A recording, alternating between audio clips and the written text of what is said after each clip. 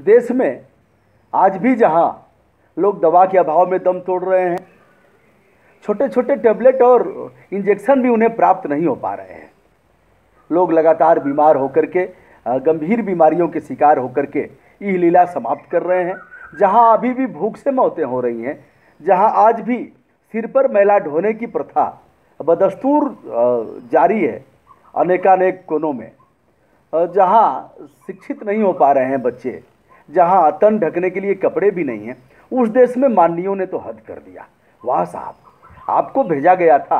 आप जाएँगे, ऐसी समस्याओं को सदन में उठाएँगे, कार्रवाई कराएँगे, लोगों को असुविधाएँ प्रोवाइड कराएँगे, इसीलिए तो आपको भेजा गया था। लेकिन कोई किसी से कम नहीं है। राज्यसभा हो, चाहे लोकसभा हो। अब देखिए ना इस बार का जो सत्र चला है, उसमें लोकसभा और राज्यसभा की कार्रवाई 248 घंटे हंगामे की भेंट चढ़ गई। एक घंटे की कार्रवाई में डेढ़ करोड़ रुपए खर्च होते। एक घंटे की कार्रवाई चलेगी। खर्च कितना होंगे? डेढ़ करोड़ रुपए खर्च होंगे। राज्यसभा में 120 घंटा और लोकसभा में 127 घंटे 45 मिनट सदन की कार्यवाही बाधित रही है, हंगामा हुआ है। 29 बैठकों में मात्र 22 दिन ही कामकाज हुआ है। प्रस्तावित पैंसठ विधेयक तो सदन का मुँह ही नहीं देख पाए। ऐसे में साहब, कौन सी अपेक्षा आपसे किया जाए? दुखद पक्ष है, दुर्भाग्यपूर्ण पक्ष है, निंदनीय पक्ष है। लोकसभा में कुल पाँच बिल पेश हुए, वहीं राज्यसभा में मात्र एक बिल ही पास हो पाया। अब साहब, दोष किसका है? एक दूसरे पर दोषारोपण लगातार किया जा रहा है।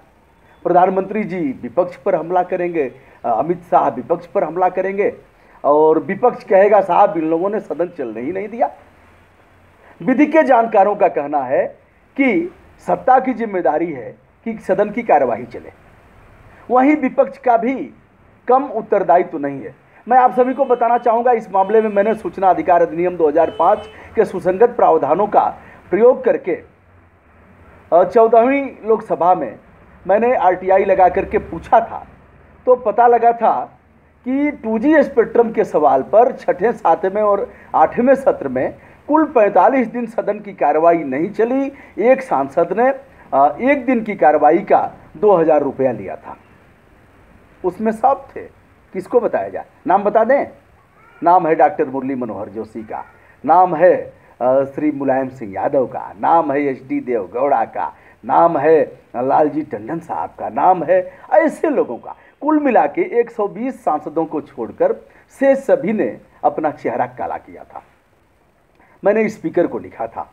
हमने लोकसभा के अध्यक्ष को भी लिखा था। उस समय सोमनाथ चटर्जी साहब थे। हमने कहा, इनके ऊपर कार्रवाई करिए दादा। आप लगातार चिल्ला रहे हो। सदन नहीं चल रहा है। क्या हो रहा है देश में? देश के लोग तमाशा देख रहे हैं। लोग क्षमा नहीं करेंगे। ऐसे काम नहीं चलेगा। हमने कहा, दादा, इन्हें जेल में डाल दो। यह जेल के पात्र हैं। स्पीकर को और लोकसभा के अध्यक्ष को ये अधिकार है कि इन्हें सदन के बाहर कर देंगे। इन्हें निलंबित कर देंगे।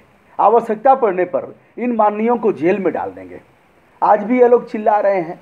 लोक लोकसभा के अध्यक्ष चिल्ला रहे हैं और राज्यसभा के सभापति चिल्ला रहे हैं। मैडम, करिए ना, क्या चिल्ला और आपने भी तो वही कमुआ किया है। आप जब विपक्ष में थी तो आप भी चिल्लाती थी। कोबड़ छोट कहत अपराधु। गोस्वामी तुलसीदास जी ने इसे लिखा है किसे छोटा अपराधी कहा जाए किसे बड़ा अपराधी कहा जाए। आप सभी देश के साथ अन्याय कर रहे हैं, निश्चित रूप से क्षमा के पात्र नहीं है। किंतु वजह यह है कि साहब कुत्ते की पूछ में कमल का फूल बाँध दिया जाएगा तो वही नेता रहेगा। जिसको दे दें, अराजक होगा, तस्कर होगा, माफिया होगा, लुटेरा होगा, गुंडा होगा, मवाली होगा, वही भाजपा का नेता होगा। उसी को लोग कहेंगे, जिंदाबाद, हमारा नेता कैसा हो? इस गुंडे जैसा हो।